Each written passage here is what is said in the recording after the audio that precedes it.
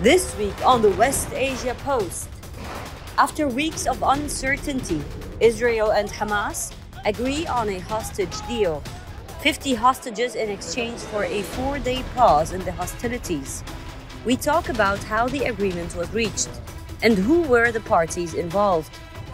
Also on the show this week, how will the upcoming winter affect Gazans and Lebanese journalists killed in Israeli strikes?